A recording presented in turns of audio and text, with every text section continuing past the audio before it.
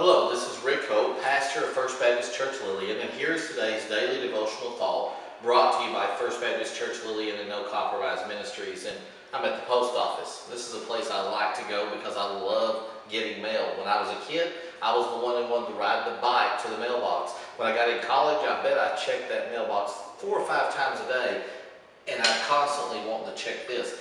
Here's the thing though, I usually don't get as much mail as I would like. Oh, I get mail, scratch that, I get mail. I get grocery flyers, I get bills, and I get junk mail. But you know what I like? I like those personal letters. I like those cards. I like the fact that somebody took the time to actually write something down and send it to me. Paul was in prison in Rome, and the Philippian church sent him through their pastor Epaphroditus a love offering, so to speak, and he said that it was incredible, that it was like a pleasant aroma, an acceptable sacrifice to God, Philippians 4.18.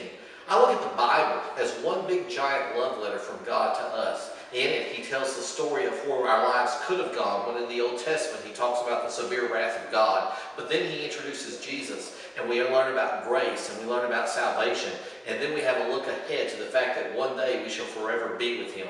I don't understand why people find the Bible boring or why they think it's irrelevant. Open it up, read it, and find God's love letter to you.